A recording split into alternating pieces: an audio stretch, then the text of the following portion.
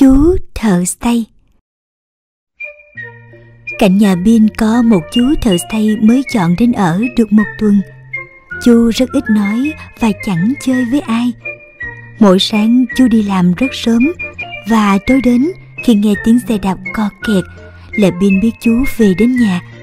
Người chú lúc nào cũng đầy bụi bẩn. Bin bảo mẹ Mẹ ơi, con thấy chú ấy ở giờ quá à Con không được chê chú ấy như vậy Do công việc của chú con ạ. À. Mẹ cũng đi làm Sao mẹ không chơi? Vì công việc của mẹ và chú ấy khác nhau. Mẹ là cô giáo Còn chú là thợ xây. Nghề nào cũng có những giá trị riêng con ạ. À. Bin trầm ngâm. Nhà Bin chỉ có hai mẹ con Nên mẹ Bin vừa là mẹ Vừa là cha. Bin còn nhỏ quá Nên chưa giúp mẹ được việc gì từ ngày chú thợ xây dọn đến ở cạnh nhà Chú giúp mẹ nhiều việc lắm thay bóng đèn, sửa ống nước hoặc những công việc nặng nhọc khác. chú giúp mẹ mà không cần trả công. Mẹ hỏi gì cũng chỉ cười tủm tỉm.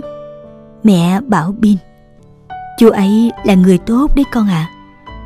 Bin không thích cái gương mặt ấy, lúc nào cũng nghiêm nghị, lâu lắm mới có một nụ cười.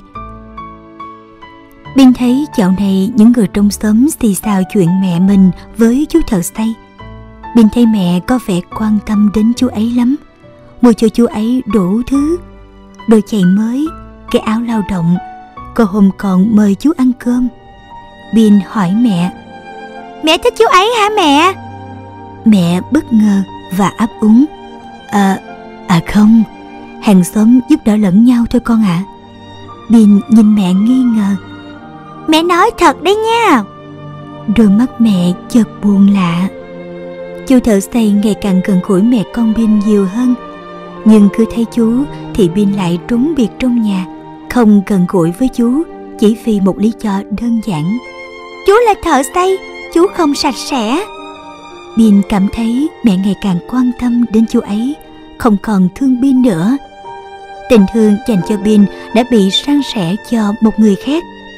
Một lần Bin đi học không chịu về nhà. Bin thầm nghĩ hay mình không về nhà Xem mẹ có đi tìm mình không? Xem mẹ có lo lắng không? Trời đã tối Bin đi lang thang đến khi bụng đói lả Thì gặp một đám thanh niên. Thấy Bin bọn chúng bảo nhau Ê thằng giải này có vẻ con nhà giàu nè Chúng mày xem trong người nó có gì không?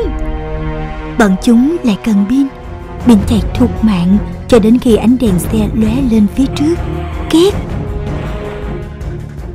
Sáng hôm sau, bình mở mắt ra thì mình đang nằm cạnh mẹ.